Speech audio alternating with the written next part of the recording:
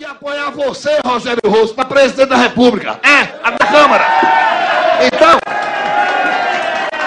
Então. Eu, eu. Então. Não, não, não. Deputado, deputado Silvio Costa. Deputado. Deputado. Nada mais havendo a tratar. Agradeço a presença. Está encerrada a sessão.